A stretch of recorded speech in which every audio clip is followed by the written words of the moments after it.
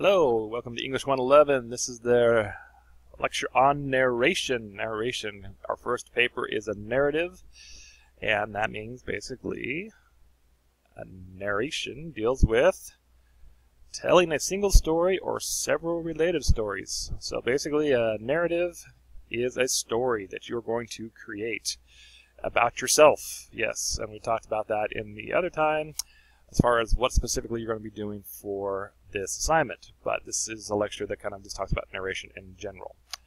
So the main goal of the narrative essay is to feel like the student, or whoever's reading it rather, was there. I was there.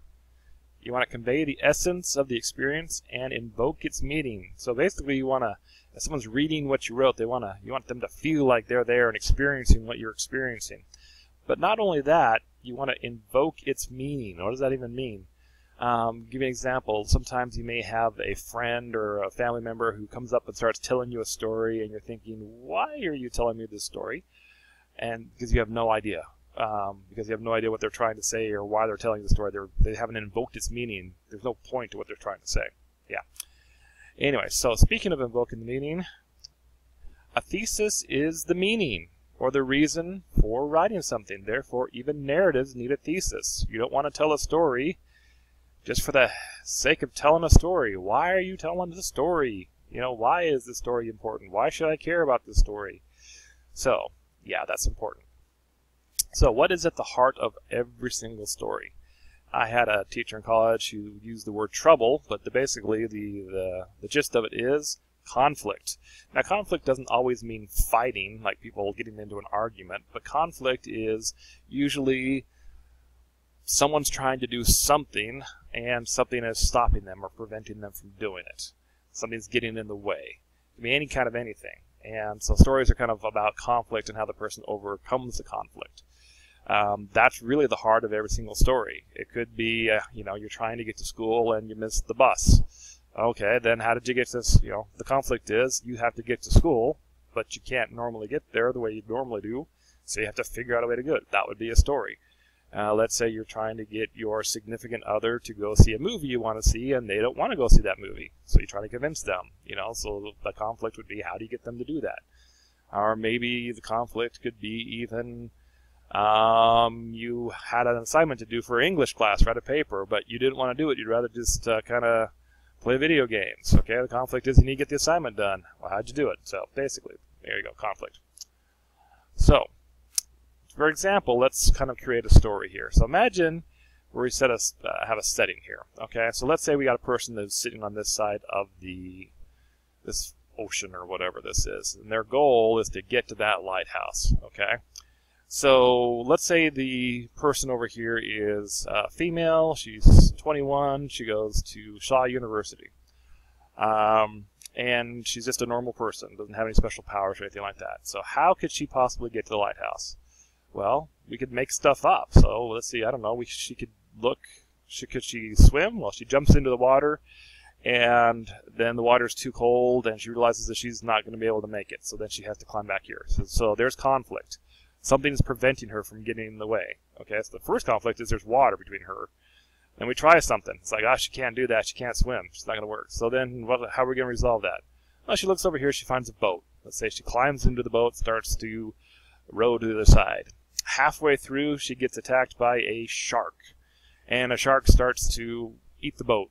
Okay. Uh, oh my gosh, what is she going to do now? She's in the middle here. She's going to be eaten by a shark. How does she? What does she do? Well, she takes one of the paddles and hits the shark over the head. Okay, but now she's sinking, so she takes the life preserver and she starts to swim, and she realizes she's not going to have more energy, enough energy to get to the other side. And just then, a helicopter comes by and picks her up, swoops her over, and takes her to the lighthouse. Okay. So you see how there was conflict in there? Is that a lot more interesting than she just swam to the other side? Yeah, there is. Okay. So in narration, you must do the following. Get to the point. Okay? Why are you telling this story? You know, right off the beginning, don't say, I'm telling you this story because this was whatever. But it needs to be fairly clear up front what the story is about um, and why you're, why you're sharing it. This is the most you know, the scariest time I've ever had in my life. This is the time I was the most proud, or this is a big you know moment in my life where I decided what I wanted to be, or you know when I got in, you know, enrolled into Shaw and my first day of college, that was a big deal. You know, get to the point of why you're sharing that particular story.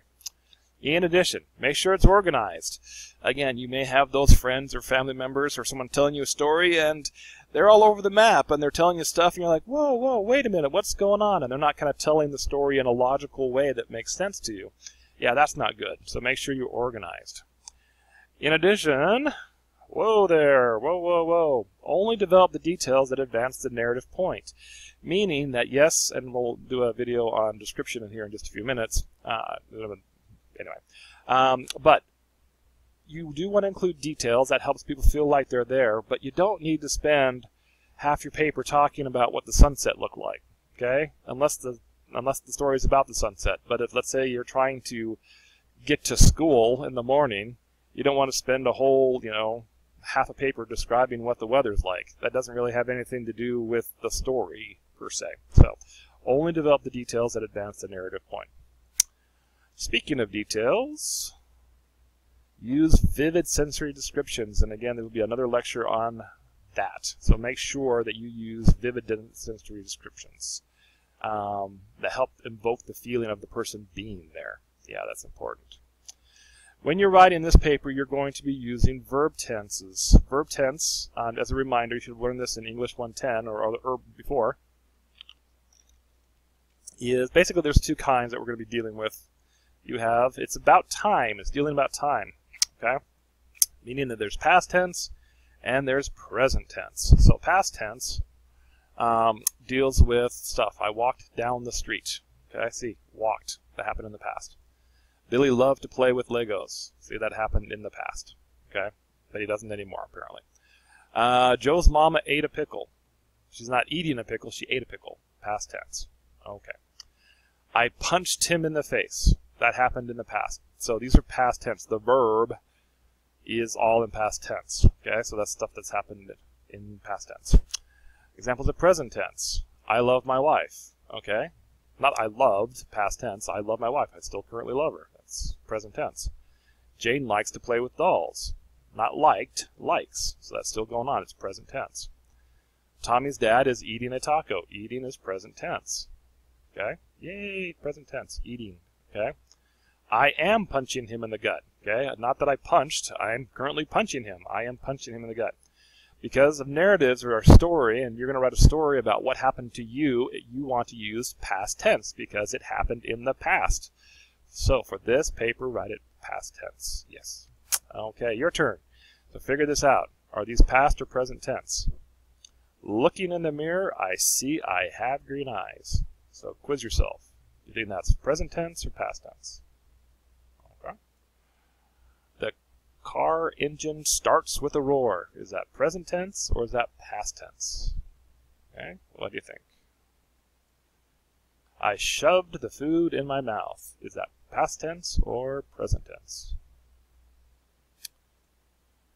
Kenny lifted up the rock and then threw it. Is that past tense or is that present tense? Did that happen in the past or is it happening now? Okay, how did you do? I don't know. I don't know. Okay, let's see how you did. Looking in the mirror, I see I have green eyes. This would be present tense. Looking, not looked. Okay, I see, not I saw. So this would be present tense. That is present tense. That is not something you would write in a narrative generally because you are writing about a story that happened in the past, at least for this uh, assignment. The car engine starts with a roar. Okay, again, look for the verb starts. Starts, not started. So starts with a roar, that is present tense again. The car engine starts with a roar, present tense. I shoved the food in my mouth. Shoved. That is past tense. That's the verb. There's the action. Shoved. Past tense. Happened in the past. And Kenny lifted up the rock and then threw it. Okay. Lifted, threw. These are both past tense. Okay. One thing you want to make sure is you are consistent. If you're going to use past tense, use past tense all the way through it or you're really going to mess up your uh, reader, and we don't want that. So there is the lection on narration. The lection? How about the lecture on narration? Yeah, okay. Uh, there will be another lecture on description, so make sure you watch that as well.